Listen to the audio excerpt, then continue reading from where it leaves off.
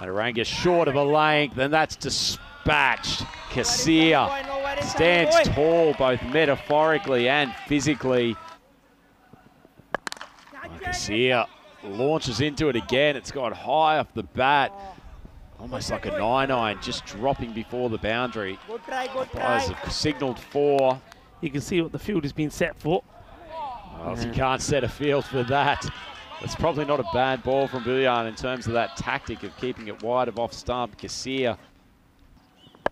Bouillon gets charged, and we saw this plenty of times in game one today from Qasir.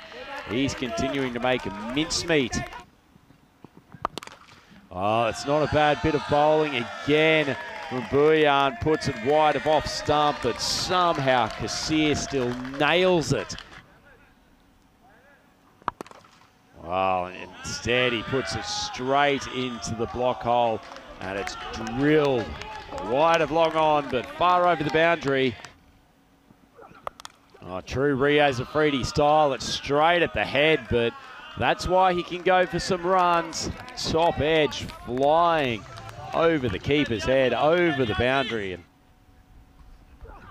oh, Riaz Afridi, he's not changing plans, and Qasir says I can take your leg side as well. That's a better line given his field, but it does not matter one iota. What timing from Qasir, and what a way to bring up a wonderful half century.